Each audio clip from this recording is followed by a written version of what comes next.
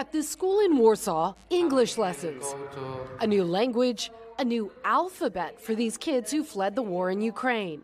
Do you like being in school? Yes, I like it. I have a lot of friends and good teachers.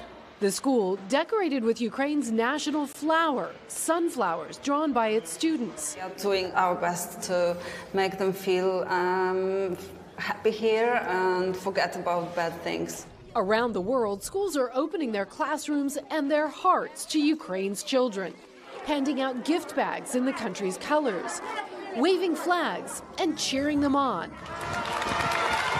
This video in Italy went viral. In Spain, a whole classroom of hugs for this little boy from Ukraine. And prayers at a Catholic school in Chicago, where many of the students are Ukrainian Americans. We feel a bit helpless sometimes. And doing this, I think, really makes us feel a bit like um, better. In Connecticut, Woodstock Academy is flying the Ukrainian flag and making space for 10 refugee students, the first two already settling in. And you just know that they're scared. We can provide something to them that they, they really need right now. They need a little stability, they need a little safety.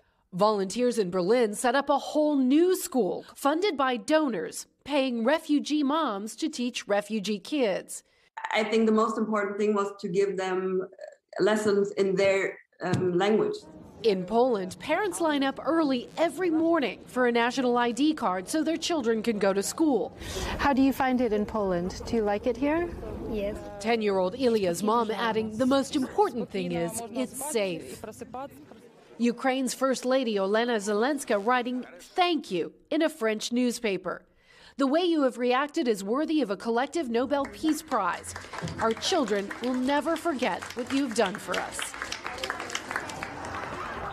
But the need is still immense and growing. The Polish uh, education minister saying that they're taking in, on average, at their schools, 10,000 kids every day. Craig? God bless the people of Poland. Kelly Cobiella, Force there in Warsaw. Kelly, thank you. Hey, thanks for watching our YouTube channel. Find your favorite recipes, celebrity interviews, uplifting stories, shop our favorite deals, and so much more with the Today app. Download it now.